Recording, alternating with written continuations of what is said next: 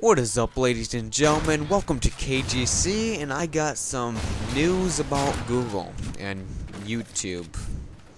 So, just to make a comment now, Google has recently made it so you have to link your Google Plus account to your YouTube account. If you do not do so, you will not be able to make any comments whatsoever. You won't be able to plus or I mean like um thumbs up, thumbs down that comment, mark it as spam, stuff like that.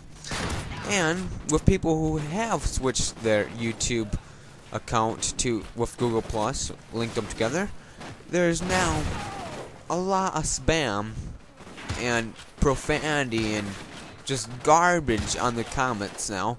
Comments lasting over pages and pages long. Um, virus links um, porn links, all those kind of links that you don't want to see or have on your computer. Um, it's horrible.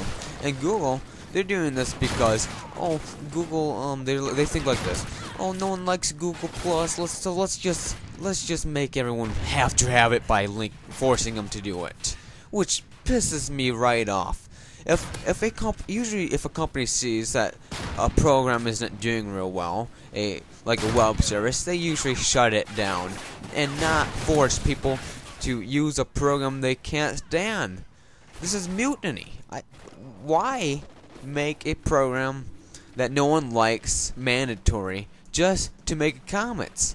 Comments are the most important thing on a web page, I think. Like if I'm reading a movie review, I after I re um, read the review, I go straight down to the comments because I want to hear from the rest of the people. If I don't see any comments or I just believe that they're hiding something and I consider that review invalid. So this is why I think I I can I'm not going to ever switch my Google my YouTube to Google Plus cuz I really don't see no reason but now they're giving me a reason but it it changes your menus and everything, put links your settings together, in some cases even puts your real name as your YouTube account, which why would you want that? Everything is fine. If it's if something's not broken, don't try to fix it. Just like YouTube changing the uh, layouts every year, it seems like.